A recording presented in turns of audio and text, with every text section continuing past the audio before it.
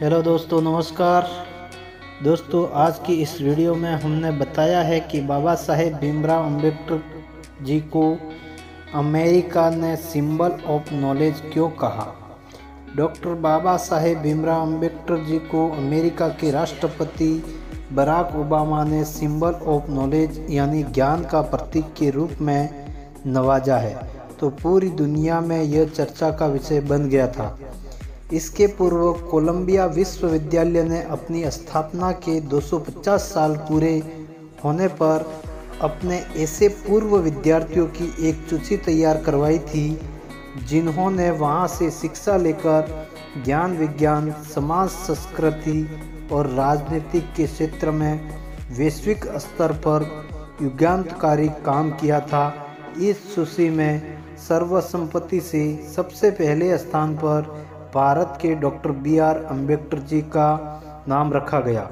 उसी विश्वविद्यालय की ऐतिहासिक महत्व पुस्तकालय द्वार पर डॉक्टर अंबेडकर की प्रतिमा पहले से स्थापित है।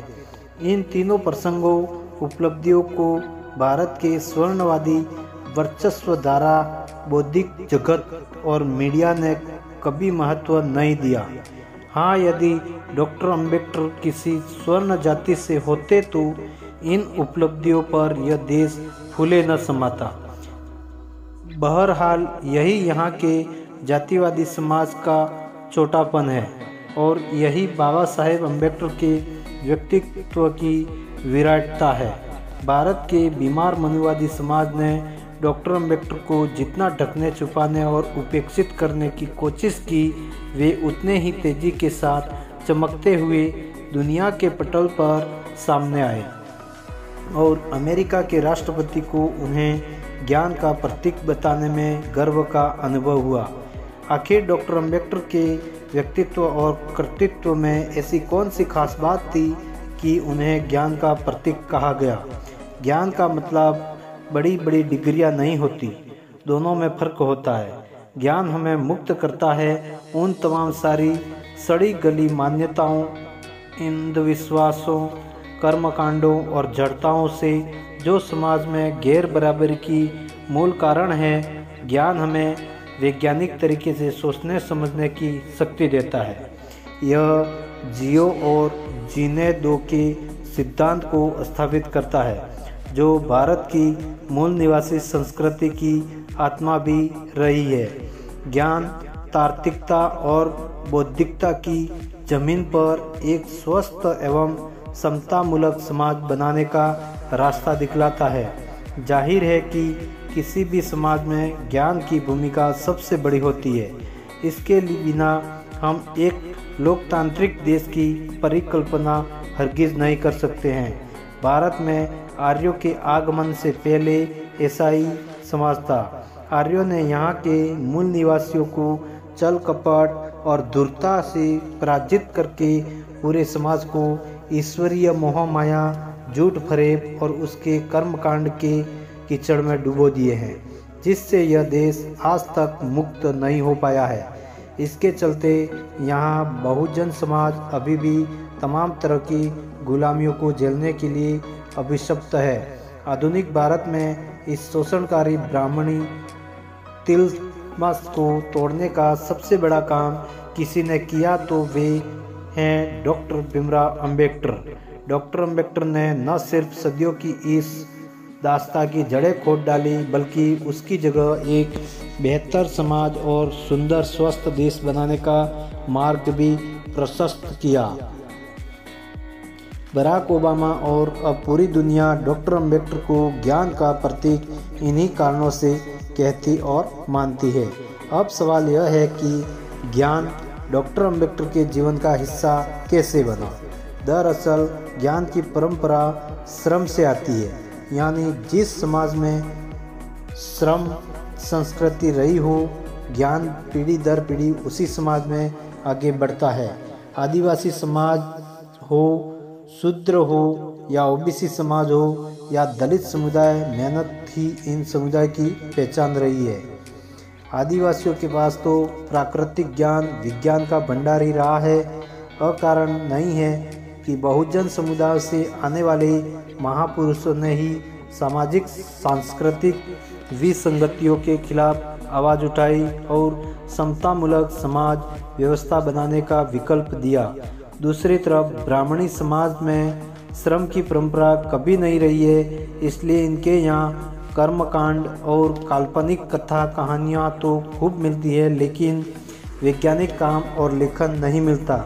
इसी कारण भारत के स्वर्ण समाज ने दुनिया को आविष्कार और बौद्धिकता के नाम पर कुछ नहीं दिया। इनके यहाँ विद्या की देवी रही, लेकिन बहुसंख्यक जनता अशिक्षित रही। इन और जो शिक्षित रहे, वे ज्ञानहीन रहे। धन की देवी रही, लेकिन यहाँ के बहुसंख्यक लोग सदियों से कंगाल बने रहे। इनके यहाँ शक्ति की देवी रही, लेकिन यह देश लगातार गुलाम होता रहा। वस्तुत्व, मनुवादी एवं वर्षदवादी लोग खुद अज्ञानी थे, इसलिए उन्होंने असमानता, शोषण और जुड़, जड़ताओं तो खूब फैलाई, लेकिन ज्ञान नहीं।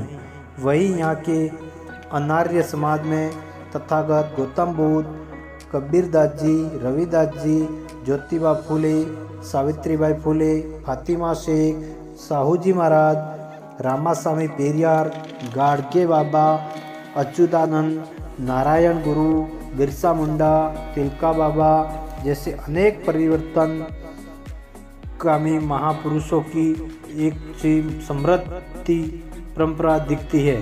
आधुनिक भारत में इन सभी बहुजन महानायकों का सम्मिलित रूप से हमें बाबा साहेब डॉक्टर अंबेडकर में मिलता है। डॉक्टर अंबेडकर के पास विदेश के प्रतिष्ठित विश्वविद्यालयों से प्राप्त शिक्षा तो थी ही। उनके साथ साथ अनुभवजन्य व्यवहारिक ज्ञान की प्रचुरता थी। डॉक्टर अंबेडकर के विशाल लेखन और क्रांतिकारी कार्यों का गहनता से अध्ययन किया जाए तो पता चलता है कि भारतीय समाज, संस्कृति और इतिहास की उन्हें गहरी समझ थी। वे गजब के दूरदृष्टा थे। यही वजह है कि उन्होंने व्यापक बहुजन समाज की मुक्ति का रास्ता खुद तैयार किया, जिस पर चलकर आज वंचित का हर क्षेत्र में अपनी मजबूती उपस्थित दर्ज कराने लगा है। डॉक्टर अंबेडकर के आंदोलनों के मूल में आत्मसम्मान और मानवीय अस्मिता की भावना प्रबल थी। शुरुआती दौर के उनके आंदोलन को देखें तो चाहे वह महार सत्याग्रह हो या कालाराम मंदिर का आंदोलन, सब जगह यही संवेदना दिखती है। मुक्ति की, आज़ादी की, मानवाधिकार की, समानता की और जाति विशेष के अधिकारों के खात्मे की महार सत्याग्रह के दौरान उन्होंने स्पष्ट शब्दों में कहा था कि हमारे आंदोलन का उद्देश्य सिर्फ़ यह नहीं है कि जो निर्योग्यताएँ हम पर थोपी गई है, वे हट जाएँ, बल्कि बल्कि हम सामाजिक क्रांति चाहते हैं। एक ऐसी क्रांति जिसमें नागरिकों को अधिकारों के मामले में आदमी और आदमी के बीच कोई भेद न किया जाए।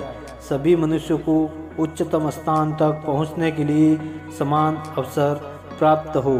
तो दोस्तों, यह जानकारी आपको कैसी लगी, कमेंट में ज़रूर बताएँ। वीडियो को लाइक करें, शेयर करें। चैनल पर नए हैं तो प्लीज़ चैनल को सब्सक्राइब कर लीजिए। साथ ही बेल आइकन को प्रेस कर ले ताकि हर नया वीडियो आप तक सबसे पहले पहुँचे। धन्यवाद।